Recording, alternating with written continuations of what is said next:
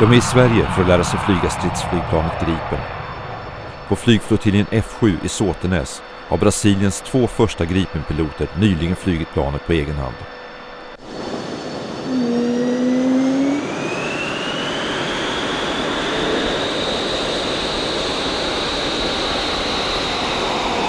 SvD Näringsliv följde med under en intensiv dag med övningsflygningar.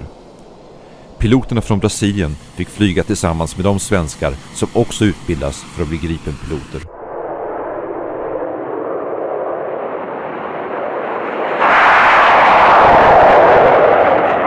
Today we had an hour of flight. This was our first solo flight here in Sotenas Air Base.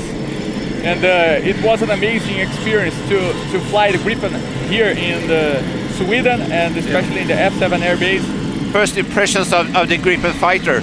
It's a very good, very good performance, turn ratio, and uh, when it comes to weapons employment, we believe this is a very strong and powerful weapon, weapon system. Yeah. The weather here is, is really good. Is it, has it been a disappointment to you?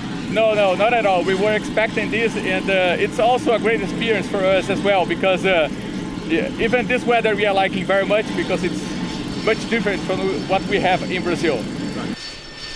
För Brasilien är Gripenprojektet en jättesatsning.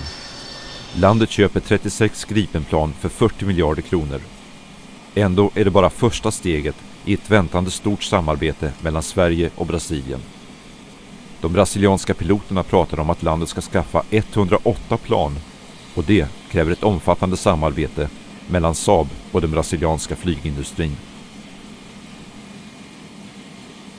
I think just fly as a fighter pilot is the amazing uh, situation for me. It's the the best part to be flying to feel the G load and so on, the aerobatics, and see the, how the world is from above. I think the most exciting experience for me. And if you compare the, the Gripen fighter to the fighter aircraft you have flown before, what, what is the major difference? What do you think about the, the Gripen fighter? For me, as a pilot of F5, for me the biggest difference is uh, performance, of course, and the flight control system as well, because I think Gripen has a very smart flight control system, and you can handle the aircraft very easy. It's really good aircraft, I think. And making a landing in warm Brazil, is that very different from making a landing in snow, snowy and cold Sweden? Yes, of course, quite different from land in Brazil with hot, warm, and here land with the snow. It's quite different.